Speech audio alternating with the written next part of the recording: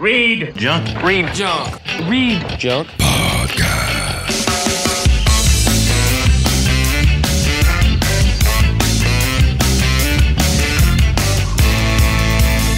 Freedom Podcast with your host, my guy. What's up, everyone? It's the Read Junk Podcast. I'm your host, Brian Kremko. I'm back with a brand new episode. This time I got an interview. It's been a while since doing an interview. Hopefully, I won't get threatened for doing this one. This episode is with Ian McFarland, the director of the Agnostic Front documentary, The Godfathers of Hardcore, who is also in Blood for Blood and has directed a bunch of music videos and some other projects. Uh, we talk about how he got into punk and hardcore, putting on shows in Maine, and then joining Blood for Blood. And then we talk about how Ian got into filmmaking. And then, of course, the majority of the conversation is about The Godfathers of Hardcore, which is out on Blu ray now.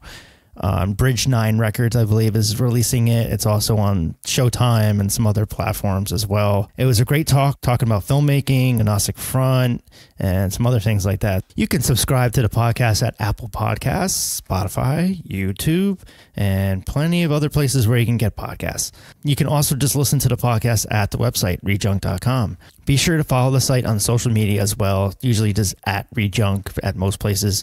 And also check out teepublic.com slash user slash Brian Kremko for all my shirt designs. I just did a bunch of cool readjunk ones, and I have a lot more on the way since it's tis the season and there's lots of uh, holiday shirts coming out. So uh, be on the lookout for that. Okay, so let's get into it. Here's my chat with director Ian McFarland talking about Agnostic Front and filmmaking.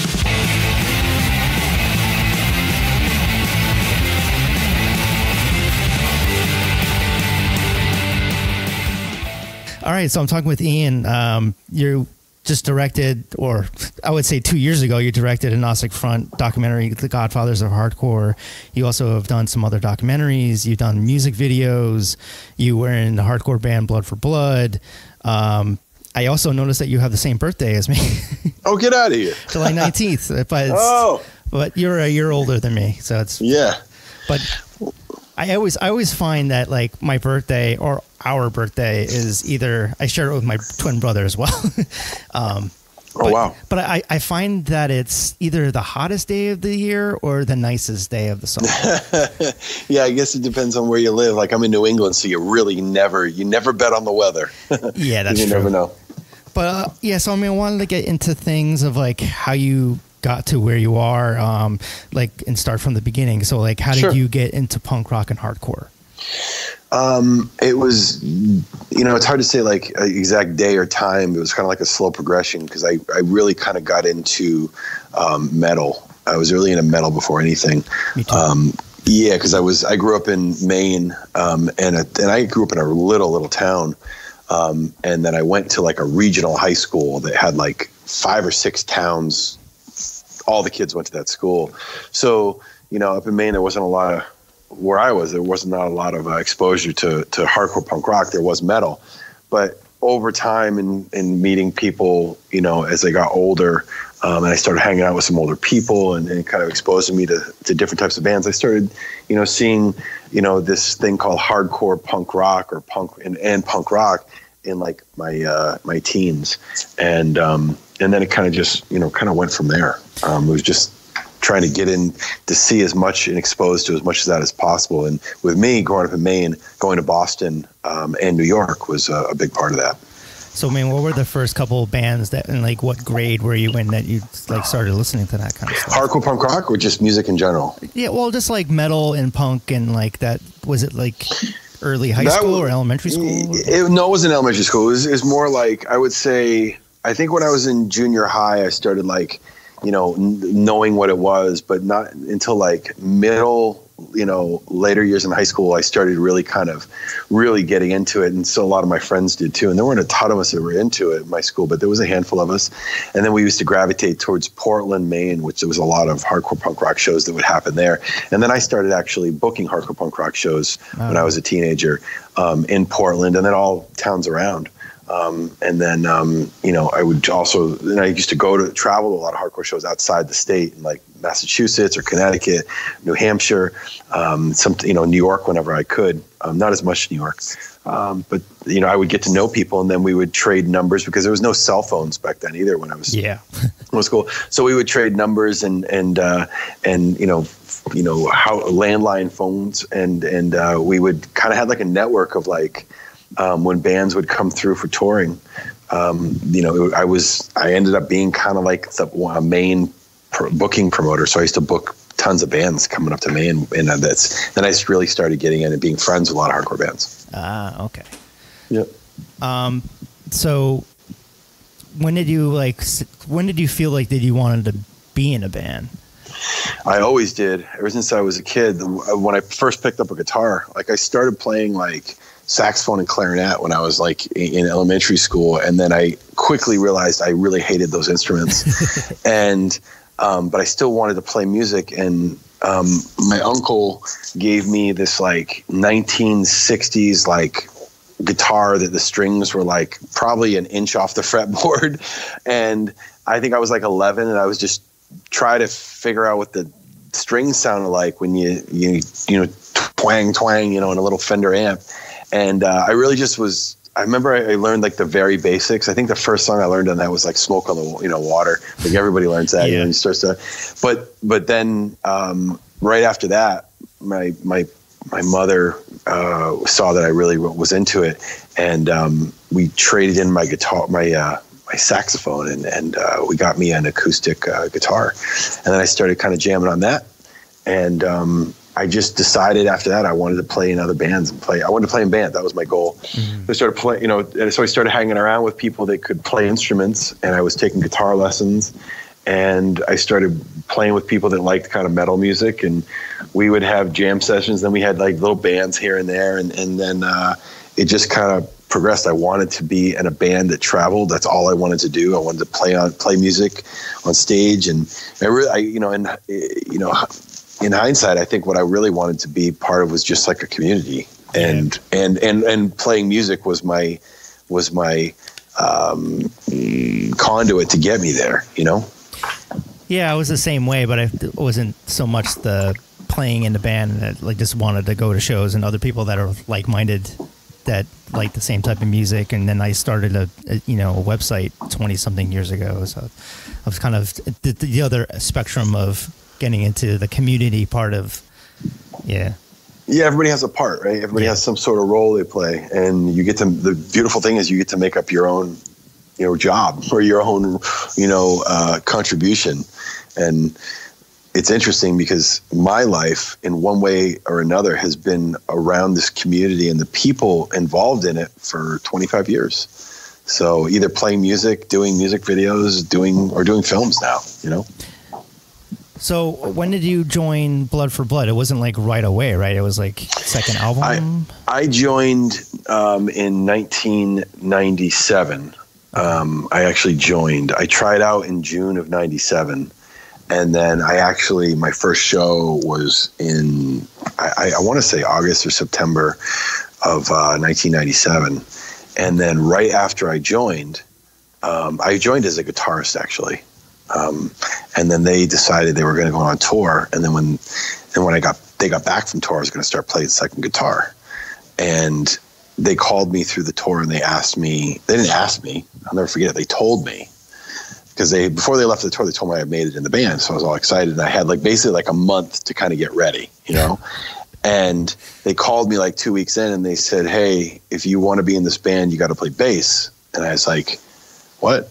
Like, yeah, you know, you got to play bass. And I was like, I've never, I've never even touched a bass, believe it or not. I've never even noodled with one, never even played around with it. And and I remember, I'll never forget this. I remember Mike saying, he says, well, if you want to be in the band, that's what you got to do. and I said, oh my God, okay. So I didn't want to, I didn't want to not, you know? Yeah. And so, so I, I, I borrowed a bass from a friend of mine and I started like trying to figure out how to do bass and um, learn the songs, retrain my fingers to do the root notes. And, and I didn't, and I still felt so weird because it was like playing steel ropes. And I would tell all my friends, I'm like, they're like, oh, you're playing, why are you playing bass? And I was like, because I don't know, I have to to join this band. And, and I really want to join the band. And, but it's like, it's hard because like these strings are like, they're like literally steel ropes. And, um, and I, I, I really didn't like it, but then I really got into it once I started playing.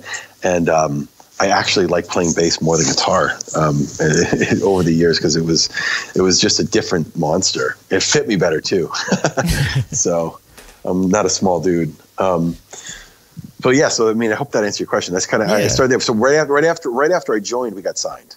Like Oh. literally right after I joined, we got signed to Victory. Okay, that's- Um, that, that was, those are the two. The, the second and third albums were the ones I'm really familiar with. With uh, Yeah, we we the Spill My Last Breath was I was not on that, but I joined right before it came out on vinyl on Open Handed Records, and they the guys put me on the back of it as a member, but said that Gina Benavides played bass on it, and um, but I was a member because I wanted it clear for some reason that I was in the band, and then um, after that. We right after I joined, we recorded Revenge on Society, and then right after we recorded it, we went on our first European tour with the Bruisers, and it was like two and a half months. And it was just ridiculous. It was two and a half months. It was insane. I've never to this day gone on a maybe one other tour that was as crazy as long, but it was really long in vans in Europe, and we were unknown, and it was really hard.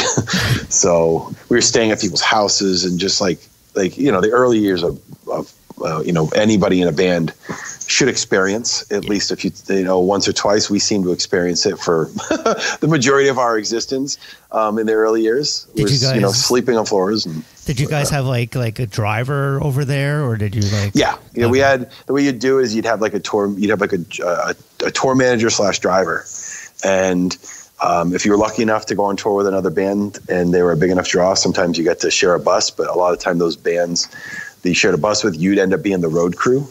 Um, and you know you'd get to go on tour, but it's you know you'd end up also doubling as the opening act and the road crew for the headlining band. Um, and we we kind of did that a few times. Um, but uh, we had a tour manager and a bus, uh, a driver, and we didn't have a tour bus. We didn't even get a tour bus until like later in those years, and then that's when kind of things kind of changed, started to change, anyways. Um, what country stood out to you as far as like them taking in your sound and the band and stuff like even if they haven't heard You know- heard of you before, you know? was it's interesting because when we first started, everybody hated us. Like it was really, really weird. Um, especially looking back on it now, because when we first started and we first started touring, it was really frustrating because we'd get like 10, 15 people that would be totally really into us. Like, I mean, like really into us. And then the rest of the room really just didn't get us Yeah. and it really frustrated us a lot. And specifically, uh, Rob, it really pissed him off, um, and it, it made me mad. And I would always like bitch about it in the van, and I would like just complain and and say something. And, and when I would complain about it, I remember then Rob would always kind of bring us back to to reality, and he would always say like, "People will come around. Trust me, people are going to come around." And it's so funny because they did. they kind of did.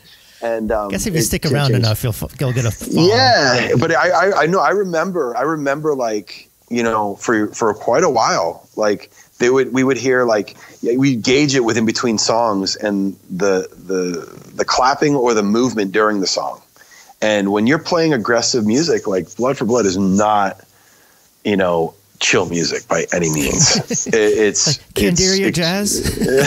it's very aggressive music and and i mean i just don't see how anybody could just stand there and and go what is this but uh, we they, they did when we first started playing. Yeah. so i was i didn't start the band or i was not i was not there for the birth of the band but i was there for its infancy and continued to be. So and to this day um, you know the band is just me and rob now and we haven't done anything with it but it's just us at this point so.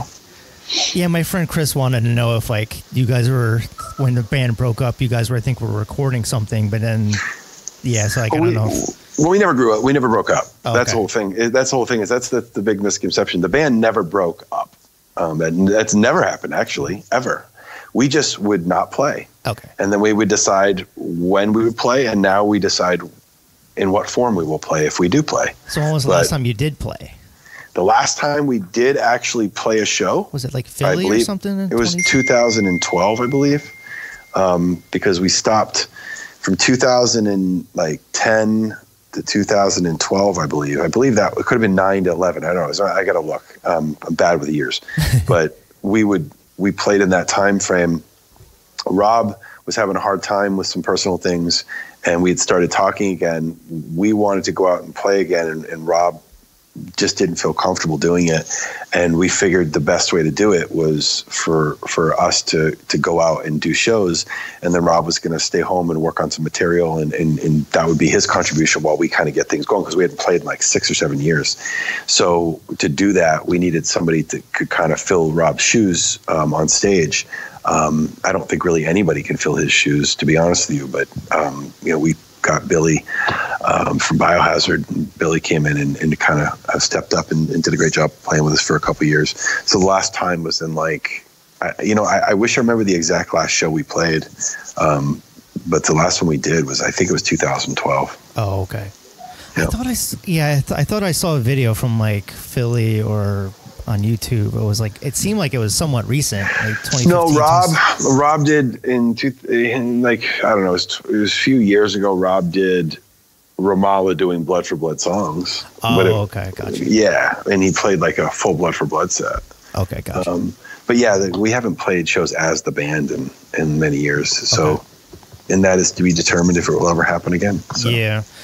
I mean, I don't remember if I've. It won't seen... be, but it, but but not to get into it because I don't really want to make the conversation focuses. But um, it, it, won't be uh, this, you know, the same members as it was before. And if we gotcha. ever did do it, we do it. And Buddha is not part of that equation. It would just be Rob and I and other people if we did. Gotcha. So um, I don't. We remember. just haven't. Yeah, so I mean, I, I don't remember if I've ever seen Blood for Blood before, but I mean, have you guys played the Chance and CC's and Music PA and like the new- oh, we, you know what? I, that's one of the problems I have is I really have a hard time remembering names. There's like people in bands that can like remember like the day, yeah. the show, the play, all these things. Yeah, I, it's all people there that day. no, it's all mushed together to me. I just remember progression of how things felt over the years. I could describe that pretty well. Okay. Um, but it's like feelings internally, and that's that's a whole other conversation. But you have people like Vinny Stigma who can literally remember a show, a date, and even sometimes the flyer. It's crazy. Well, speaking of uh, Vinny and Agnostic Front, um, when was the first time that you saw them live? The first time I saw them live, if you ask Wes Eisold from American Nightmare, he could tell you because I drove, I picked him up and drove to the show with me because um, we lived in Maine uh, together. He, we didn't live together, but we grew, we we lived in the same town um, when we grew up. So I, remember I, I, remember like the I remember the first time I kind of heard him. Um, I know it was you know in my early teens. I didn't really like honestly. I'm one of those people that uh, the, when One Voice came out, I really was that was the album that really really turned me like that because it had like you know the metal that I loved, and then it also had this really fast hardcore beats and and, and sound and, and speed, but it also had like a groove to it too, which kind of eh, you know if you listen, it's like it's like you know, the Madball sound, you know, and whatnot. Yeah. And that album, that album kind of defined in a lot of ways not New York hardcore, in my opinion, by any means. And I think a lot of people agree, but it defined a certain sound of New York hardcore for sure, and what it is even in today in some ways, um, with some bands, you know. I mean, yeah, that their first, uh, the first album that I got of theirs was the Last Warning, 90, mm-hmm. 1993. I went to like an old record store in Middletown, New York, called Rock Fantasy, and and then I'm like, oh, what's this one? I'm like, because I was still kind of like in the metal then, so it's like I got yeah. this, and I'm like, wow, this it kind of opened opened me up to hardcore was Agnostic Front. But the first time I didn't see them was until 1998 when they played with Dropkick Murphys and U.S. Bombs for like a Halloween show at the Chance. Oh wow, that's cool. Yeah, so it was like a a memorable show. Yeah. I bet. When I saw when I when I saw um, you know I saw them like for the first I remember the first time I like really like saw them on before I saw a show um, is I saw the the uh, and everybody from you know our generation uh, a lot of people remember this is is that live at the Ritz you know live in New York. Yeah. Um, and and that it was actually it was directed by a guy named George Seminara um, who that live thing at Gorilla Biscuits Sick of It All and Agnostic Front and then I had interviews with everybody from like Harley Flanagan to Dave Stein to like you know Sick of It All to Jimmy G to Roger to you know Craig Setari. It was just like really eye opening for like a '90s uh, generation of people in you know into hardcore. It was really really it looked hard. The whole thing was cool. It was a huge show. It was crazy. Agnostic Front just destroyed it. Um, you know, it's pretty pretty awesome. I actually I, I've I, have i have seen all the raw tapes from that show. It's pretty awesome. Hmm. The last time I, I mean, the last time I saw Agnostic Front was at Punk Rock Bowling at Asbury Park uh, a couple years ago. But I was just I'm like, oh wow, yeah, yeah. I'm like, wow, these guys are. I don't know if you were there filming or anything, but no, I was going to, Bo, but um, I had I, I didn't need any more footage at that point. I remember I needed some things, but I don't. I think I had finished all the filming. and I was still cutting at that point. Okay. Um, now changing gears here. So, I mean, so when did you decide to like leave the band and like, or were you in the band and then do? Did you go to film school or did you just like pick up? No, that's the thing is I think somebody did some Wikipedia on me. I'm saying like, and it just I read it not too long ago. I was like, that's not right. Like. I, I, never, I never left the band to go to filmmaking. That's just not even true. Um, I, I, never left the band. Period. I've never left the band. I've never quit or been kicked out. It's my band. I'm in the band with not mine personally, but it's it's me and, and Rob. Like we're we're part of it. It's like our thing. But like, I never left it and um, I, I went to not full fledged film school because I don't want to take away from anybody that did like a four year course like so many of my friends did. I, I started by going to like uh, night film school at Emerson College. Oh, okay. Um, in my my uh, my early twenties because I wanted to see if I really liked it, and then I was going to go to film school. Like I was going to go one of those people that went to film school and I went to school in my twenties, you know, late twenties, and I decided to but once I did the course, I actually dropped out because I was like, I can do this on my own, and I can probably learn from more people than I just didn't fit in in the, the course. I didn't like it. I didn't. I didn't like what was going on with it. So I just I'm one of those people that has to just you know figure it out, or I'm better by being around way. people. Yeah, I, I, do better with people that are, are are better than me, and and and I can learn from. Like I choose to work with people. So so many times in, in different businesses when somebody gets older in business they look as like oh they're a dinosaur. You use that like oh they're a dinosaur. I, I look at it completely opposite. I like i go to those people to learn what they learned and then then put my own spin on it. And i kind of did that with filmmaking where i started hanging out with people um, that were a lot older than me that were doing it or had done it. And i just started asking questions um, and then i started kind of finding uh, independent film community and I found it through Craigslist. I found it through, um, you know, different people in the hardcore punk rock scene that were also into film. So I started asking around and seeing who was into stuff and who was going to school. And I started like kind of like getting free courses of filmmaking by becoming friends with some people that were going to school. Mm. And I would learn things and we would do projects. And then I just decided I wanted to start making music videos because I had one of the things that people that are in film school want to do, they wanted to do so much was do music videos, yet they didn't know bands and like they, they will work with bands and i would be like oh my god that video is going to be how can you make a good video when the song is horrible you know like yeah like this band's but i had the luxury of knowing tons of really great bands that had had followings and um, there's a flip side to that because you're learning and putting yourself out in front of a lot of people not that are going to paid for shit. yeah, well, not getting paid, but that that wasn't my motivation either. But then it was it was more of like I'm putting myself out there and my stuff's getting seen by a lot of people in that audience and I don't know what I'm doing. yeah. So I'm like, I'm, I'm learning as I went. I'm going, learning as I'm going is what it was like. And, and, um, luckily it was like my, I remember my first music video I did with this band called Terror. And it was like their first, they were just starting out. And I did the same thing with this band called The Unseen. And, and then, um, I started, you know, doing stuff with Agnostic Front and Sick of It All and bands that I knew and I was friends with, and then I started doing things with much bigger bands, and um, and music videos were kind of my way into getting into filmmaking and still being a uh, one foot in the music world and one foot in the film world, you know. I feel like yeah, I feel like they're kind of similar in a way of like the film and music and then punk rock even because it seems just like what you were saying now a lot of these bands wanted their music videos so sometimes you just do it yourself and you learn on the job so it's like it just seemed like you there's a lot of people that are both musicians and directors and filmmakers because they just end up picking up a camera and doing them themselves. Well, nowadays it's so there's there's it, you can do so much you know on your own. Yeah, you know because of the you know all the resources out there online that if you want to be a musician or if you want to be a filmmaker if you want to be a writer or you want to be a photographer or director or an editor all these things you really can be all these things um, that, that a lot of people try to do. I mean i wouldn't suggest uh, you know doing all these things. I would suggest try to picking one thing or a few things and becoming really good at and then and you know having fun experimenting with others. Um, but you know, I try to focus on these days on just a couple things and then really focus on. But you to be an independent filmmaker is a lot like being an independent musician. You have to kind of know a little bit about everything, or how to do a lot of things pretty good, or a lot of things pretty good and one thing really good. You know? Yeah, I, I took a film class in in college. I for one semester and I hated it. It was like my worst. It was like my my worst class that I had ever. I just was was not good at it. But it's like I ended up taking parts that I learned and in kind of doing I did like a before the concert series kind of like video YouTube series like a mm-hmm. sessions and so I mean I, I did have I have done stuff like that in the past and um, but I, I, I kind of gravitated towards the photography.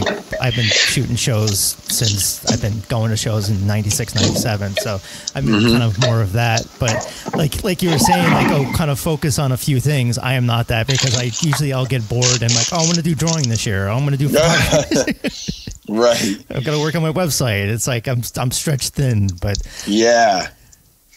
Um, so I mean, were so, so is that how you just, uh, did the Agnostic Front documentary? Is that you just knew them from doing their music videos, or? Well, I we I'd known them from touring. To be honest with you, okay. Uh, I had met them touring, and we became friends. And then I ended up doing a um, um, couple music videos, and then we talked about doing like something bigger. Um, and it was we ended up doing a, a live at CBGB's um, DVD concert film because CBGB's was closing, and Roger wanted to really do something. So he, we started talking, and I said, "Yeah, let's do it." So I did it. I had a little production company, and then we put it out on my little production company. We licensed it to Nuclear Blast. So it was like one of AF's last shows at CBGB's. It was one of the two last shows they did, and it was one of the last shows at CBGB's. Um, and it's cool because Hilly actually fully gave us permission to use Agnostic Front. I mean, uh, use CBGB's in the title of the release, and it was cool because it was like he we like went totally old school and like like went and met with him and talked with him, and he was like, absolutely, you guys can totally do this, and it was really cool. So that was our first experience working with them, and then from there, you know, we, I just started doing more and more video stuff with them, and then I always saw that there was this really interesting story between Roger and Vinny, but I didn't want to really focus on the agnostic front aspect of it because as much as I, I figured like I, I really wanted to leave the door open for the band or me to do a film about just about the band, like a retrospective, you know, thing telling their stories of the band and whatnot. I, I wanted with this project, I wanted this one to be more about Roger and Vinny because I figured you you would understand everything you needed to know about Agnostic Front, but I wanted to tell a bigger story, which was something maybe about the feeling or an explanation into why people are into hardcore punk rock. And these guys, I felt would be a really good representation of, you know, guys that are in it for life, what we call in the hardcore scene lifers, you yeah. know, guys that are in it forever. And I think these guys are really great ambassadors to the hardcore community for all different genres within in microcosms in within that little within that big community. Okay. Um, I mean, so you're credited with writing the documentary. I mean, I was always curious about like people that are credited with writing uh, documentaries. Like, is it like the structure of the movie? Is it like a basic outline? Or well, there's like two types of documentaries. That's a big debate with a lot of people. Yeah. There's two different types of ways of doing documentary, and one is they're just following something as it unfolds, like cinema verite. They're like following it as it goes and unfolds. The story is being written as it goes. This was a little different. Yeah. Like I knew the story I wanted to tell before I started. Okay. So I kind of had to sit down and come up with this whole big idea and then have plug in what I, you know, the different directions we wanted to go and then go after those. So we did. I didn't write for them to say what they said. Yeah. But I did. Tony, uh, my co-writer, and and I, you know, he came in and he was a co-producer on the film. So we sat down and we basically outlined of what we wanted this film to be like by scenes. Like then we're going to go into this topic and talk about this, and then we're going to do this. And then there were things that happened along the way that we didn't expect, but there were certain things with the film that that that I knew I wanted to get into as we went. But there are things that unfolded as we went too. But that wasn't that wasn't that type of film where we just captured as it went. Okay. Um, did you do a lot of the of the filming, and then you decided to do a? Did you do a Kickstart Kickstarter, or is that? Well, yeah, the, the whole plan, the, the way that we did it was very punk rock and and very DIY. Yeah. Um, I tried to make this film for about ten years, believe it or not, and no one would get behind it. No one. I couldn't get anyone to get behind it. Not even They a record label? up- no, I asked. I asked three that I won't throw them under the bus right now and, and and say who, but I asked three specific record labels. Epitaph And I- Victory. I asked I asked a bunch of record labels that wanted to do it, and they said no. Yeah. And they said, "Oh, you know, no, it's not going to." A couple, one of them said, "I don't think that's going to sell. Oh, how are you going to tell that story? It's just too big of a story." Or you know, just it's just all these like negative stuff. Yeah. And I would explain what I wanted to do, and no one would do it. And when I pitched the band on it, they were like, "Whoa, you want to do what?" And like, wow, that's really, we never thought of it that way. And I was like, yeah, this is kind of how I want to approach this. I thought it'd be kind of cool. Um, Roger was really on the fence about it because he's always like, oh, let's just, just AF, AF. He's AF all the time. All Yeah. he's on 24 seven with AF. He is AF. Him and Vinny are like AF. That's all they think, right? In every aspect of their life. It's like AF dictates every other aspect of their life. Um, and I, I explained it to him, and he was then he was on board. And then, you know, I just decided, well, I'm probably going to have the same problem by not filming stuff and just trying to explain what I'm doing. So I decided I'm just going to go out and put my own money down, and that's what I did. I went out and started filming some stuff. We did a trip, and then I, and then after I had some stuff filmed and I could show what I was doing and how cool and how different it was going to look. Um, then we put together a Kickstarter video and showed a good representation of what we are going to do. And if you watch that Kickstarter video and then you watch the movie, it's it, I did exactly what I said I was going to do. okay. Um. Yeah. So when did so when did that when did you start like filming? Was it around twenty? I started 15, tw- 20, 2015. Yeah, we started um, shooting in just, um, I want to say February of 2015. And then we did the Kickstarter a few months later. Okay. I know Vinny like mentions like David Bowie in there. I'm like, oh, it's like that sucks. It's like it's like dated or it's like, you could tell when it when it was filmed. Yeah. You know, kind of. Yeah, we thought about leaving that out, honestly, because David Bowie had died um, by the time that the film was done. But I decided against it because I said, you know, that was that happened and it's history. And David was alive and Vinny was referring to him alive. So I thought it was, you know, it is what it is.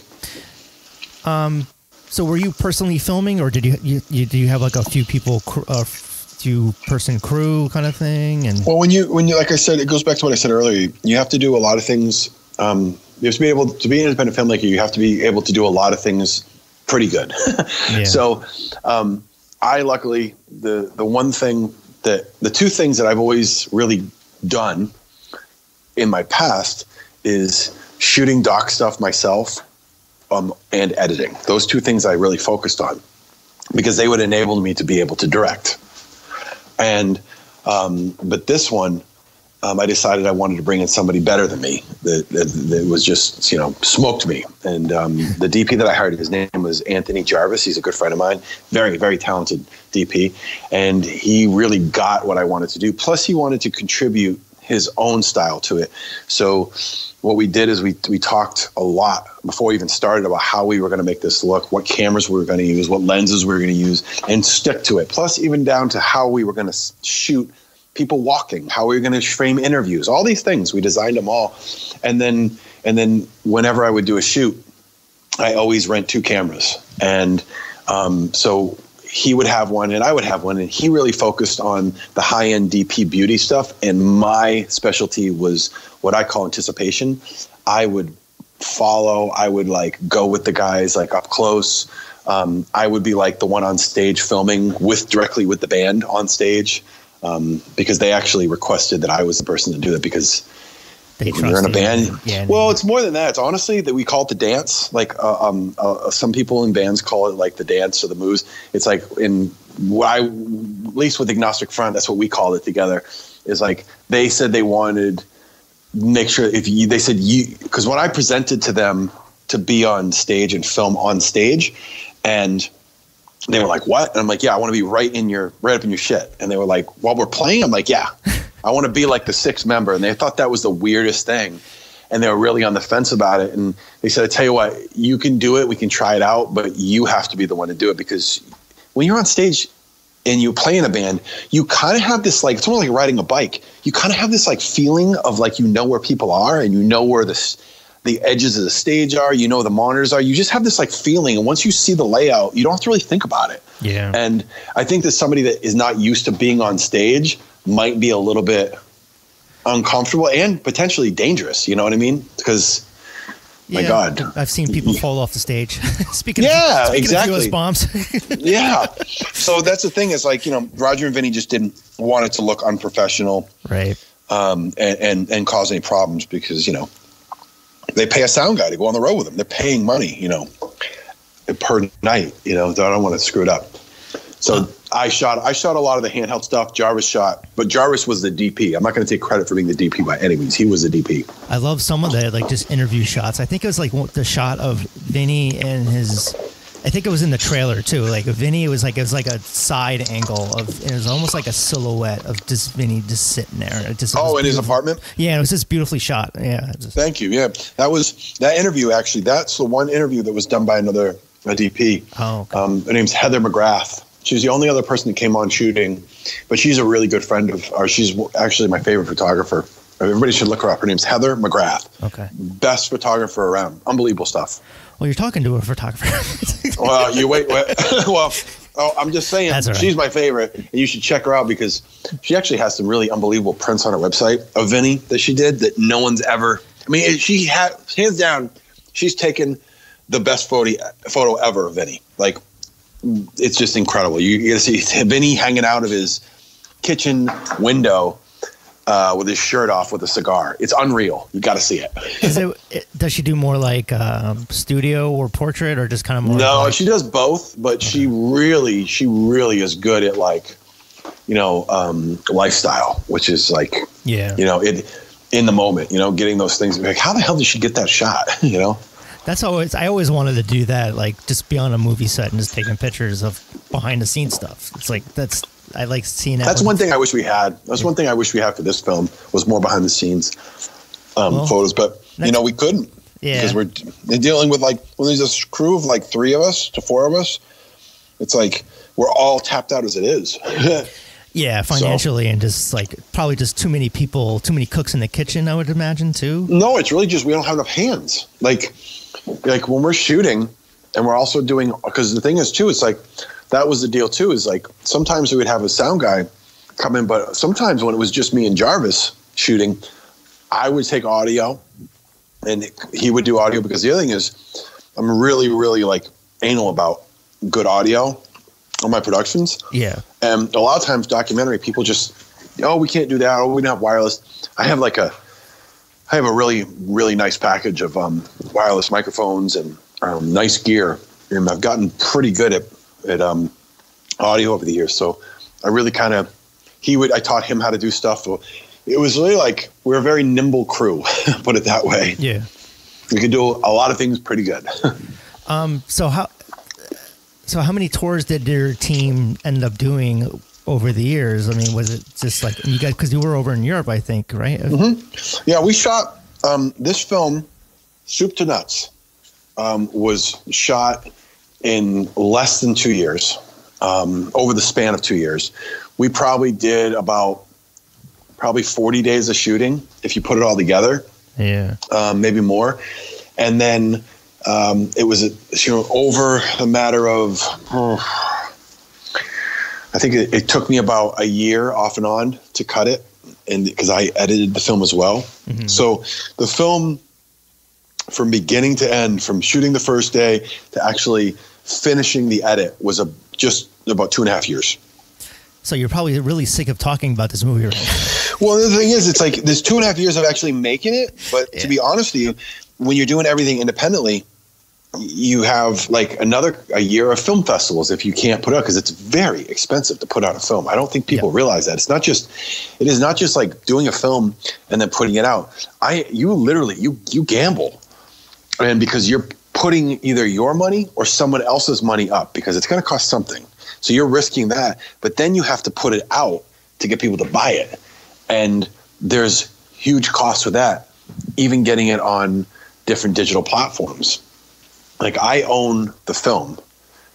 Um, my company owns the film. It is that's where it's under, and I licensed it to Showtime, and it became a Showtime film once we did that because it says Showtime Presents on there, and and then we did the same thing to the Sky Network in the UK. But I still own all the digital rights, all of the uh, you know platforms, and all like the Blu-ray rights and all the theatrical rights.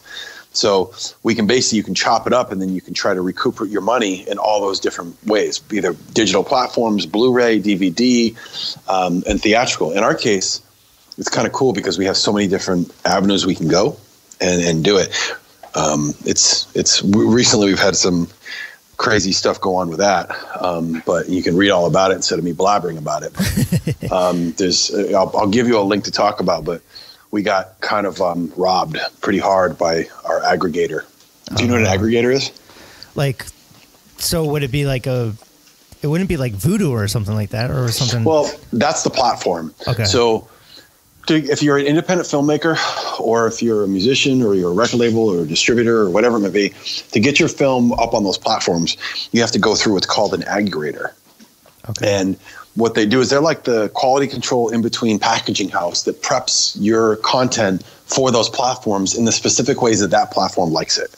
So, example, iTunes. Like I can't go to any of these platforms myself. You can go to Amazon, but you directly and do it yourself. But you in Vimeo, but you can't go to any other ones.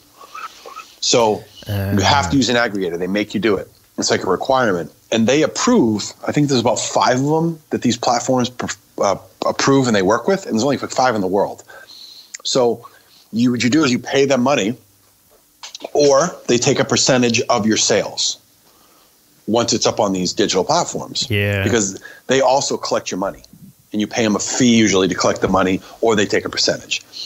Um, I went with a company called Distribber, owned by a much bigger company called Go Digital, and they, in my case, what they had to do is I wanted to have the film out in as many countries as possible because the band tours all over the world.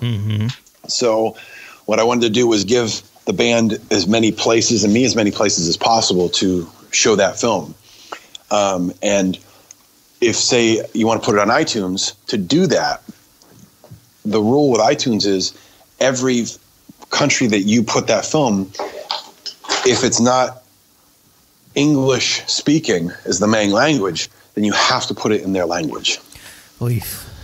So, um, I what oh, some a lot of independent projects don't do.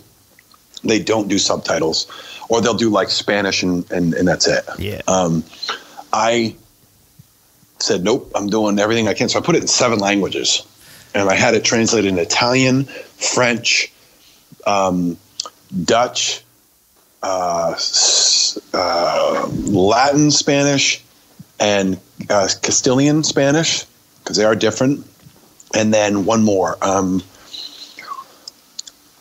French, Italian, Germany, Chinese. German, German. Yeah, it was Okay. German. It was German. It's German. Yep. Yeah, it was German. Yep. I think it was six or seven. So totally, it's, sub- it's subtitled in like seven languages, and they, uh, so they they they took care of that. I paid them a, a, not a small amount of money. Let's just we're not talking like yeah. a couple hundred or a couple thousand. We're talking thousands, a lot Wow. and they put it up. Well, the whole thing is they put it up and on iTunes, and then it goes. They also put it up on Vudu. They put it up on Amazon, and they put it up on Google Play. And um, they're I pay them 150 dollars a year, and then they collect all my revenue as well. And the first payment, it went up in May, and then my first payment for the arrangement that I have them was supposed to be six months after the first date. And that would cover my first six months of sales. And then after that, it would be done every quarter. I would get basically like my sales revenue. Now, remember, they're not taking any cut. I pay them a fee. Yeah. So I was paying that fee and I paid that fee. And then the Monday before the Thursday I was to be paid a few weeks ago, um, I received word that Distribber slash Go Digital um, was going bankrupt. Oh, one of those deals. Yeah. So I lost. Now, now, now, my film was The Godfathers of Hardcore was actually an iTunes number one music film. It went to number one on iTunes. Um, it's it, it, did really, really well, really well digitally, and um, I didn't get a penny. That so sucks. Yeah, and it's like if you can read about it, if you just type in Distribber, go digital, LA Times. I mean, there's articles in IndieWire, go uh, in the LA Times. Uh, there's there's a Variety, Hollywood Reporter. Um, this company, uh, you know, mismanaged or embezzled. It's unknown yet. We're talking millions upon millions of dollars, and you can research and make the judgment for yourself. But as far as it goes, with my opinion, I'm pissed. Yeah, I would be. I'm really angry, and I'm really angry, and it's like this open wound that every time I I, I talk about it, um, it's like the the, the it's, it's not it's not a band aid because a band aid won't cover this wound. It's like it's like stitches, sutures get ripped out every Yeah. single time, and it's just Sorry. pisses me off, man. well, there's, the thing is, it's like there's no way around it. It's like it's part of it's what happened. It is what it is. But the fact of the matter is, um, it sucks, and you know, uh, but you know, I can't cry about it um, because it's over. You know, Yeah. So- mean, so you know, just work on the next film. you know, yeah, and hopefully, yeah, they don't go under.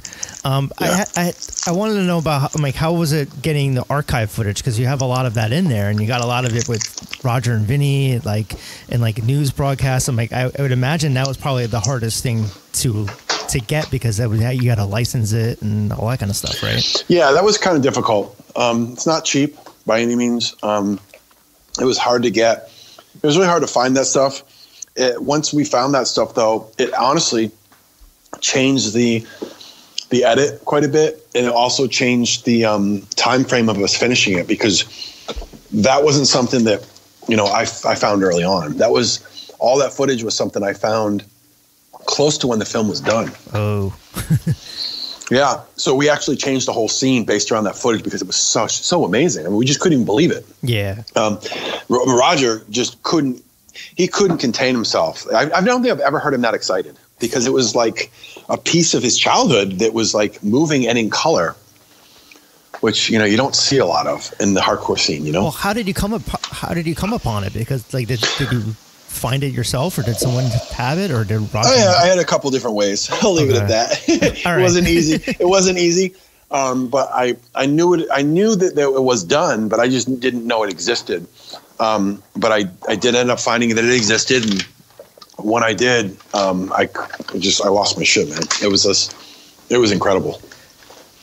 Um, so I mean, the way that you that you shot the movie, uh, like, was there any scenes that were just like one-off moments that you captured that just didn't fit into it that you wish you did you put, you know, you you were able to put in the movie, or Oh my god, there's so many, man. There's like especially a with lot. Vinny? I mean, it could be just a movie about him.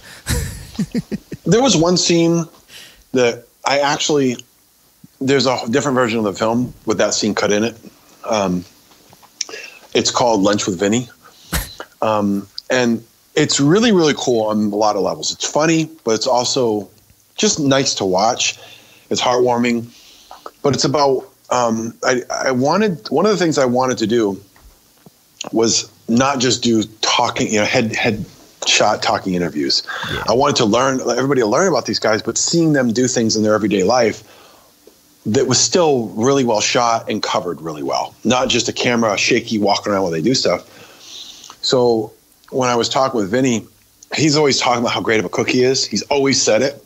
Um, and I said, man, Vinny, why don't we invite? I want really wanted Craig Setari from All in the film because he's you know one of the early guys in a good era of Agnostic Front. And I wanted to do is I'm trying to get people that were uh, you know different members from each era into the film without necessarily interviewing them and just putting them in somehow and then forward thirding them and kind of represent a progression in time. Um, and with with Craig, I, I am friend good friends with Craig, and I really wanted him in the film. And he always looked up to him as a bass player. I still look up to him as a bass player. So there's that little aspect of it too. But he's part of an era that really stood out to me, which is the one voice era. Um, and I wanted him in there. So what we did is we I talked to Vinny, and he'd always told me how he used to make um, Sunday lunch for, and his mother used to make Sunday pasta before they would go to the CBGB's matinee for Vinny and all his friends. So he always kept on mentioning Craig Setari. He said Craig, he goes, Craig used to come over and just like have pasta, and God, could that guy eat? He'd always say that. and I said, well, why don't we do a scene where maybe you cook you cook Craig lunch, and we can look at some old photos and talk about stories. So I decided to take Gal. Mike Gallo was was um, living with Vinny at the time, and we just set up a bunch of cameras and and uh, and had Craig come over, and then they just had lunch and they just talked and ate lunch and talked, and we covered it two cameras and we wired all the guys up mics so they didn't have to worry about anything, and we just captured them just hanging out and talking, and it was really really cool. I really wish it had made it in the film, but I had to cut out. Uh you know, a few minutes to get it down to as close to 90 minutes as possible. Is there a reason why you had to cut it down to 90 minutes? Is it for festival reasons? It's for, yeah, it's hard to program films that are longer. That's really what it comes down to is programming, purchasing, broadcasting, all these things. And I had my sights on those things. Once I did the film and I saw that it was going to be more than just, it had, it was going to, uh, per se, I had it, I, I had a feeling that it had a chance of being a much bigger thing if I was lucky and the right people saw it. Um, because everybody that I had been screening it with kept on telling me this is not what I expected. This is not what I thought it was going to be. This is much different. I can see this on Netflix. I can see this on HBO. I can mm-hmm. see this mm-hmm. on Showtime. And once people started saying that, I started really kind of thinking of it that way. And then the rest is history. I just got hooked up with the right people. They got behind it. And then it ended up um, sitting with Showtime. And then Showtime um, backing it. And like, I can't thank that team enough because I mean, Showtime. Showtime yeah, they've been so good with the music documentaries. I've seen so many good ones. They really care. I think. I, I mean, I, am not. I'm not going to do an ad for Showtime here, but I will yeah. say, as a filmmaker, that having your work on Showtime, it, it was. It felt like winning the lottery. It felt like because it's it's different than Netflix. It's different than than Hulu and, and Vudu and iTunes. All these things. It's like it just it's something that I personally and a lot of filmmakers associate with, you know, um, you know, a, a premium cable channel network. It's it's an online service, but it's also a broadcast yeah. network. So it just feels different. And nothing against Netflix or Amazon or any of those places, but just it's what's called a premium channel and they not only were going to stream it, you know, they wanted to broadcast it, which was that's just what everybody wants as a filmmaker, you know, and that's just I think I think uh, you have to look exactly, but I think I think Showtime has in Canada and the U.S. combined, I think it's like 47 million or something like that. It's a lot, man. Mm. And so to turn that down, like you'd be crazy. Um, so like towards the end of the movie, things get pretty serious with Roger um, and his family, and then him having like a heart attack. I mean, was that yeah. like that had to be so weird to like be around for that? I would, I would well, imagine. That's then, the thing that that happened early on. Like, and the thing is, uh, that doesn't happen all in real time. But the fact of the matter is, Roger had the heart attack, and I wanted to include that as part of the story that was in developing. But at the same time, I I felt by putting it in the beginning of the film, it would cheapen it. Or like make it me look like make me as the person telling the story that I, that I was like just like everything else that happened in his life was smaller than his heart attack. Yeah. or it didn't matter. And i didn't want the focus to be around like a reality tv idea of like drama. Every commercial comes back. What's he gonna do? Is roger gonna live or die? Like i didn't i didn't want any of that so I didn't want people to to grab I, gravitate towards that idea. There was a couple producers that I was you know going to work with, but they were adamant on that needed to be moved up, and I, and I actually didn't work with them because of that exact reason. Um, is because they they when I was editing the film and talking with them about it, they actually were saying, you know, you need to move this up to the front. I'm like, no way, man, I'm not doing that. Well, like, it was good. It was good placement because it then they go back on tour and then it kind of shows like he's worried about that and missing his family and stuff. As a you know, as a father, it's like I, and I, I think it's more happens- truthful. Yeah, I think it's more truthful to be honest with you because the way that it plays out is while we were making the film, all of us were terrified Roger was going to have a heart attack and die, but we weren't talking about it. Yeah, like we, we all room. knew it was there. We, I mean, we did talk about it, of course. Like I'm not going to say we didn't talk about it you know, behind Roger's back. Like we we all talked about it a lot, but it wasn't the focus of the film or what I wanted the projects to be. The uh, the focus of like the shooting be. So I didn't, it, but it was definitely there, and we were worried about it. But it, it, the way that we edited the film, it kind of is aligned. The way we shot it too is because it wasn't like just right in the, our face the whole time, but it was something that we were trying to ignore because there's nothing we could do about it. He was Yeah. doing everything he could about it. We were doing everything we could by having a plan in case it happened on the road, which is something that we did have as a film crew and as a band. And when you're touring with a band and you're a film crew, you know, you really start to get to know people better. I knew these guys very well because I toured with them very much. So, but the guys that I would bring on as a film crew, I had the same guys every time.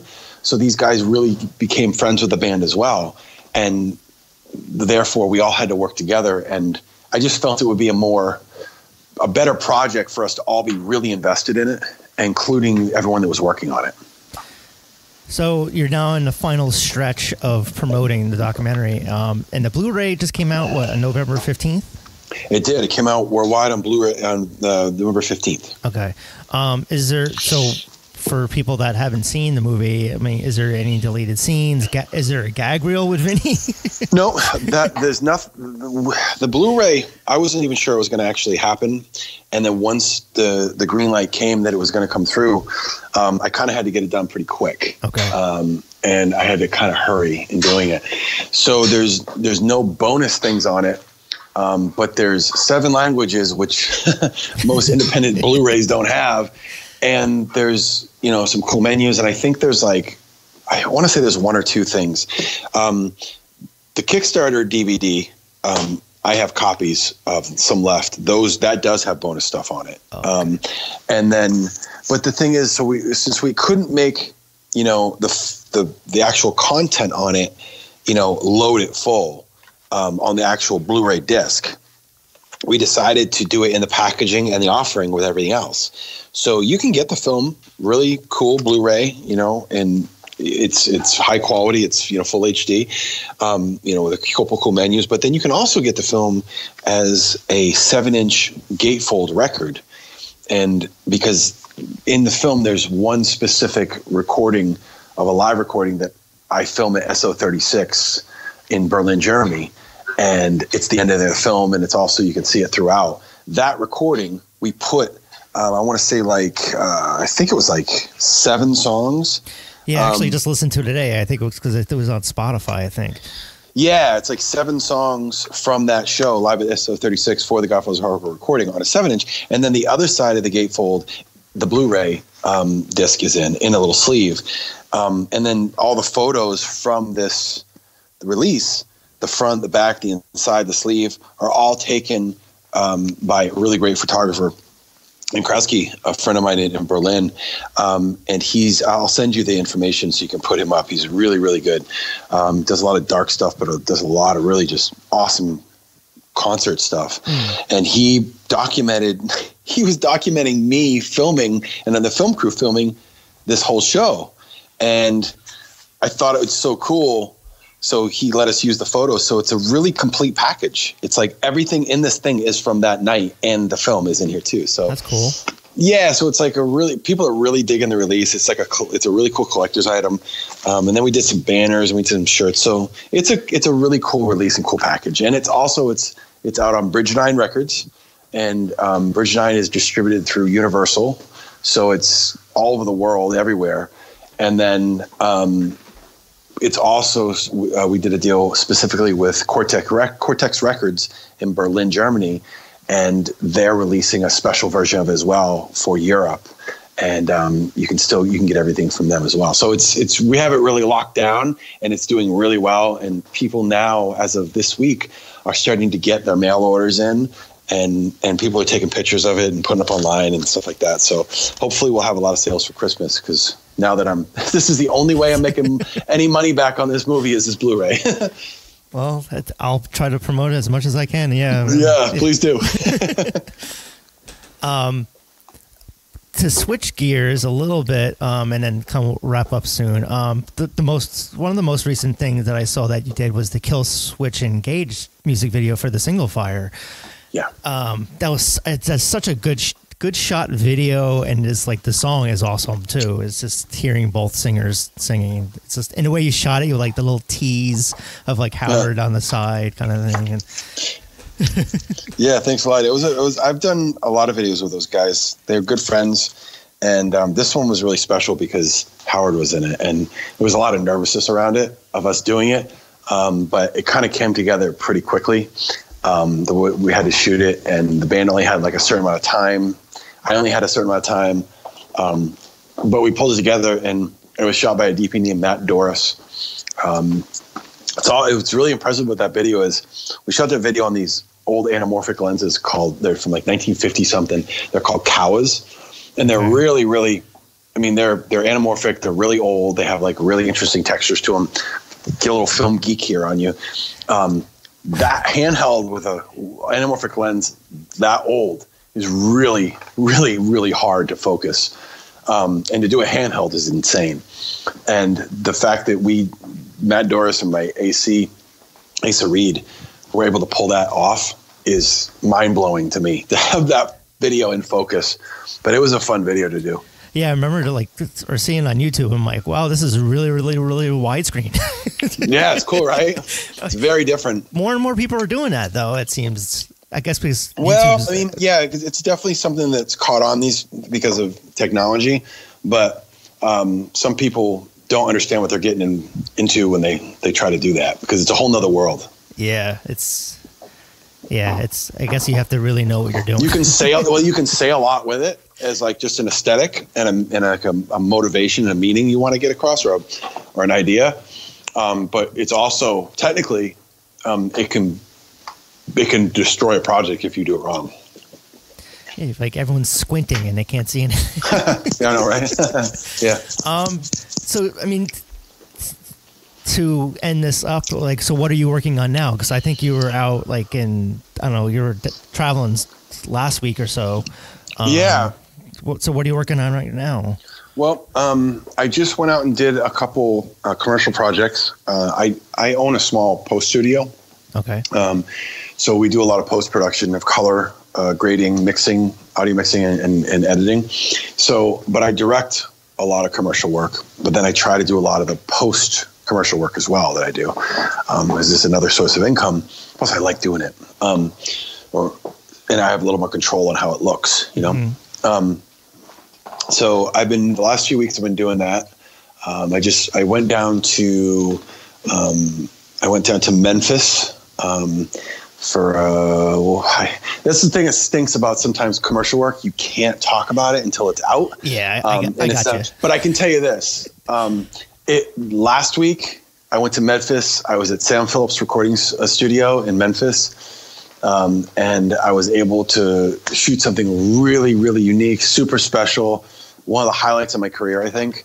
Um, to be quite honest with you, um, the, to give them the, oh, the the opportunity to do this, and um, shot some of the most beautiful stuff we've ever shot documentary wise. Um, we shot it actually all with those Kowa lenses I just like mentioned. Oh, nice. So it's all anamorphic. It's all shot on Alexa Mini. It's it's really beautiful stuff. I had an awesome crew, um, and that's being edited now. And then this past the week the week after, I was down in Virginia and Nor- and uh, South Carolina doing some food stuff for a major social network. Hmm. Um, okay. So yeah, I, so I, I tend to direct. I seem like I direct a lot of food stuff. Um, Like I don't know why. like Bourdain kind of style shows. Um, or both, like man. the- It's weird. I've done both. I, I just I just did this like recipe type stuff, um, like a cooking show type thing. Um, I can't really get into, but really cool. But then like weeks before that, um, I did a a- it's called a tabletop uh, food thing, where it was a conversation between a mother and a son, and the camera's just looking down on the table. So it was a lot of blocking and and and you know movements, and then voiceover afterwards, and all this stuff. So uh, it was really exciting. But it was food. So the last few months, I've been doing a lot of food stuff. Well, just gotta watch out for that. Where they, oh, here's a plate, you can eat that, eat that. Dude, we had we had we had no kidding on this one job. We had six hundred and fifty dollars worth of cake. wow. That because we had all these different the same cake over and over again. Like a chocolate, we had a vanilla cake and we had a carrot cake, and they had to be identical. So every scene would be a new piece of cake. So we we, we ended up doing like I think like uh, thirty five takes of this one shot take just to get it perfect. So we had to go through uh, thirty eight times uh, two. No, I'm sorry, it's 32, 32 takes times two. So 64 takes. We had to go mm. through 64 pieces of cake. and, and they were each a quarter of the cake. So there was a lot of cake. Yeah, wow. That's that's a whole lot of diabetes. Yeah, there was a there was a there was a there was a literally a cake woman on set, and that's all she did is just get every piece ready. That was it. She was the culinary advisor for the day. That's gotta. I mean, I, I always wondered about that, but like Bourdain, like when well when he was alive, uh, just like how thin he was, like, and he's eating all the time, like, and like on these travel shows. And I'm like, I don't know how they did it. oh yeah, a lot of these travel guys, a lot of these shows, all these people. You mean they they literally um, they just they, you know they in moderation, you know, or they Yeah. like taste and whatnot, you know, and um, but there's other people that you know. I mean, I've seen it on set. I've been on food sets. There's some people that will take a few bites and then they they they they cut. And then they just spit it out, or like the same thing with like alcohol. They'll do the same thing. They'll take a swig of alcohol, and then like you'll notice the camera will change angle, Yeah. and then then that's when they spit it out, you know, and because you know it's also just for the same reason the, the reason why you just ex- kind of alluded to is like you know people don't you do that you're gonna you eat all that kind of drink all day. I mean, no time. your words. And, Yeah, I know, right? and like I said, production's so expensive that you can't have any safety or time issues, you know, inhibit your production. All right. Um, okay, so where can everyone get the the movie and and all that kind of stuff in the Blu-ray? Well, the film, yeah, you can. The best place to get anything on it, to be quite honest with you, is just go to thegodfathersofhardcore.com. Okay. Um, from there, wherever the film is available, we'll be there. Um, and you can, and it- it's there's a section on there that says watch. And you just go there and click it, and you can order it. We have places you can, so you can go to Vimeo on demand, or you can get it through Bridge Nine. But again, if you just go to our website or social media, it will bring you to any of those places to get it. And it will be back up on Amazon, Google, and and uh, iTunes shortly, and Vudu. But it's just trying to get everything um, taken care of because I ripped the film down from all those platforms because I was not being paid. Right. So the film has been removed from those sites, and the unfortunate side is that you know No now I it. have to figure out a way to get it back up, and nobody can see it that way, um, and it costs money to do it again. So kind of stinks. Is the film festival's season for it over, or are you still Yes, yeah. The film fest. I still do screenings once in a while, but I'm gonna be I'm gonna be taking the beginning of the year the film to different outlets and and, and screening in different cities all over the world actually, because I just acquired the theatrical rights for the film. Oh, nice. So, yeah, so I get asked so much to do screenings, um, and we've never been able to outside of film festivals. But now that we own the theatrical rights, now we can actually go and screen this anywhere we want. And I'm also going to allow people to screen it on their own if they want to do their own screening at a theater. Um, Right, okay. Because I mean, it's no different than putting on a hardcore show or punk rock show. It's the same thing. And what I plan to do though is is go and sell um, DVDs and merchandise and whatnot there, and also talk about the film. That's cool. Yeah. Yeah. I, um, I um, I was associated with the ska documentary, the Pick It Up movie, um, that my friend Oh, yeah. Taylor, yeah. I interviewed him. So he's been kind of doing the similar path of doing festivals, and then he would have other people host host the the movie at various cities, and then do Q and A. So it's definitely a definitely a cool way of showing your movie. It is. It's really cool. It's very grassroots. I mean, film festivals is great because you get the free press of the film festival, but you know, but the other, the flip side is, you know, unless you have a draw, most of the time, or it's a, it's not a big film festival, they don't pay you any money and they don't fly you there. So a lot of the time, you have to cover your own expenses getting there. Yeah. And you know, we did like I think I, I don't know, it was like 17, 18 film festivals in 2018, and very few of those actually paid for my flights. Um, so I was going all over the world at all these screenings, Max talking about cards. the film. Yeah, man, whatever we could. So Yeah. whatever I could do to make it happen. Um, it's just, you know, I'm not in this for making the money, but um, I'm, I'm just in for making, hopefully making back what I've put into it at least. yeah, at least you know? break even. Yeah. Yeah, it's not about the money. It's about doing something that no one else has really done yet, and that's done a film like this about this culture like this way. Um, there's been many great ones in the past that I really look up to, like this kind of Western Civilization or Another State of Mind, things like that. American really great Hardcore films. was another good one. Good one. Yeah, there, there was a good film. Yeah, um, and then like also like um, like uh, you know, but but also looking in the direction of like films like Twenty Thousand Days on Earth or Dark Star. Like those documentaries are really documentaries that really influenced me very drastically in making this film and what I wanted to accomplish with it. Well, that sounds uh, that sounds like you're quite busy, and I'm definitely be uh, checking you out for future projects. Um, and yeah, I mean, this is this is a good talk. I was like talking shop a little bit.